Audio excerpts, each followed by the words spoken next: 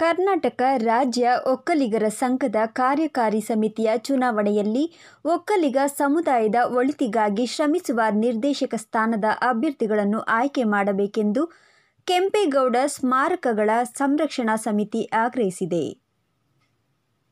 ಪತ್ರಿಕಾಗೋಷ್ಠಿಯಲ್ಲಿ ಮಾತನಾಡಿದ ಸಮಿತಿಯ ಅಧ್ಯಕ್ಷ ಎಎನ್ ನಟರಾಜಗೌಡರವರು, ಒಕ್ಕಲಿಗ ಸಂಘದ ಸ್ಥಾಪನೆಯ ಮೂಲ ಉದ್ದೇಶ ಸಮುದಾಯದ ಬಡ ಜನತೆಗೆ ಶಿಕ್ಷಣ, ಆರೋಗ್ಯ, ಉದ್ಯೋಗ ಸೇರಿದಂತೆ ಜನಾಂಗದ ಅಭಿವೃದ್ಧಿಗೆ ಶ್ರಮಿಸಬೇಕು. ಆದರೆ ಇತ್ತೀಚಿನ ದಿನಗಳಲ್ಲಿ ಭ್ರಷ್ಟಾಚಾರ, ಅಕ್ರಮ ನಡೆಯುತ್ತಿದ್ದು, ಅಭಿವೃದ್ಧಿ ಬಗ್ಗೆ ಯಾರೂ ಚಿಂತಿಸುತ್ತಿಲ್ಲ ಎಂದು ತಿಳಿಸಿದರು.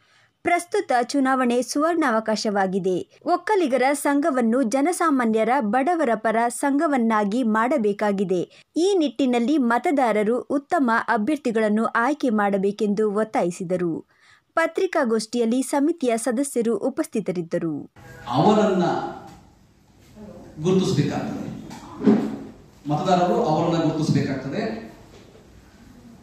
ಇದಕ್ಕೊಂದು ಈ ಸಂಘಕ್ಕೆ ಒಂದು ಇತಿಹಾಸ ಇದೆ.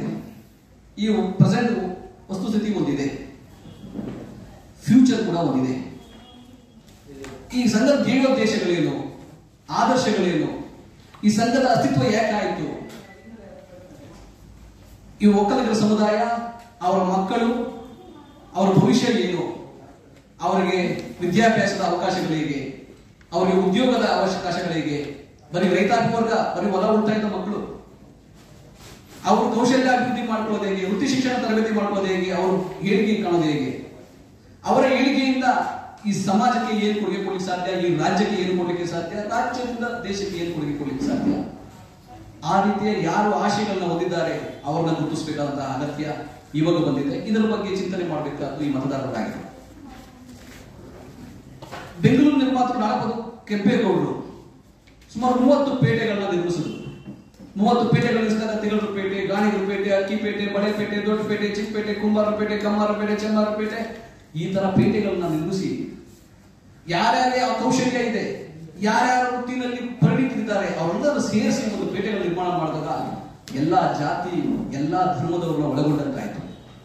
ಆ ರೀತಿ ಎಲ್ಲಾ ಜಾತಿ, ಎಲ್ಲಾ ಸಮುದಾಯ, ಎಲ್ಲಾ ಧರ್ಮದವರನ್ನ ಯಾರು ಒಳಗೊಂಡ್ಕೊತಾರೋ ಯಾರು ಎಲ್ಲರನ್ನು ಒಟ್ಟಾಗಿ ಹೋಗ್ತಾರೋ ಅಂತವರನ್ನ ಮಾತ್ರ ನಾವು ಆಯ್ಕೆ ಮಾಡಬೇಕಾಗಿದೆ. ಅದರ ಬಗ್ಗೆ ಮತದಾರರು ಚಿಂತನೆ ಮಾಡಬೇಕಾಗಿದೆ. ಹಾಗೇನೆ ಈ ಈ ಮಣ್ಣಲ್ಲಿ, ಈ ನಾಡ ಉಚಿತವಾಗಿ ಶಿಕ್ಷಣ ಕೊಡುವಂತ ಅವಕಾಶವನ್ನ ಸಂಘ ಮಾಡಿಕೊಡ್ಬೇಕು. ಅಥವಾ ಅತ್ಯಂತ ರಿಯಾಯಿತಿ ಶಿಕ್ಷಣವನ್ನ ಕೊಡುವಂತ ಅವಕಾಶವನ್ನು ಮಾಡಿಕೊಡ್ಬೇಕು.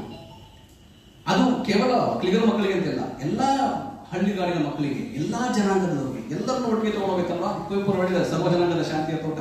ಸರ್ವ ಜನಾಂಗ ತೋಟ ಇದೆ. ಎಲ್ಲರೂ ಒಟ್ಟಾಗಿ ಬಾಳ್ಬೇಕು, ಕೂಡಿ ಬಾಳ್ಬೇಕು. ಅಂತ ಅವಕಾಶವನ್ನು ಒಕ್ಕಲಿನ ಸಂಘ, ನಾಡಪ್ರಭು ಕೆಂಪೇಗೌಡರ ತತ್ವ ತತ್ವವನ್ನ ತೆಗೆದುಕೊಂಡು ಆ ಜಾತ್ಯಾತೀತ ಮನೋಭಾವವನ್ನ ತಮ್ಮಲ್ಲಿ ಅಳವಡಿಸಿಕೊಂಡಾಗ ಮಾತ್ರ ಮಾಡಲಿಕ್ಕೆ ಸಾಧ್ಯ ಆಗ್ತದೆ. ಸೊ ಅದಕ್ಕಾಗಿ ಯಾರು ಈ ರೀತಿಯ ಮುಂದಾಲೋಚನೆ ಮಾಡಿರ್ತಾರೆ, ಎಲ್ಲರಿಗೂ ವೃತ್ತಿ ಶಿಕ್ಷಣ, ಕೌಶಲ್ಯ ಶಿಕ್ಷಣ, ಆರೋಗ್ಯ, ಉದ್ಯೋಗ, ಇದಕ್ಕೆ ಯಾರು ಕೊಡಿಸ್ತಾರೆ ಯಾರು ಮುಂದಾಲೋಚನೆ ಮಾಡಿರ್ತಾರೆ ಪ್ರಣಾಳಿಕೆಯಲ್ಲಿ ಹೇಳಿದ್ದಾರೆ.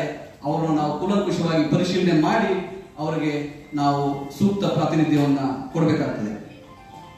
ಅವ್ರನ್ನ ಟೆಸ್ಟ್ ಮಾಡೋ ಮುಖಾಂತರ ಅವರು ಈ ಸಂಘದ ಧ್ಯೇಯೋದ್ದೇಶಗಳಿಗೆ ಆದರ್ಶಗಳಿಗೆ ಹೊಂದಾಣಿಕೆ ಆಗ್ತಾರೆಯೇ ಅಂತ ನೋಡೋ ಮುಖಾಂತರ ಅವರ ಚುನಾವಣೆ ಮಾಡಬೇಕಾಗಿದೆ, ಚರ್ಚೆ ಮಾಡಿ ಆಯ್ಕೆ ಮಾಡಬೇಕಾಗಿದೆ.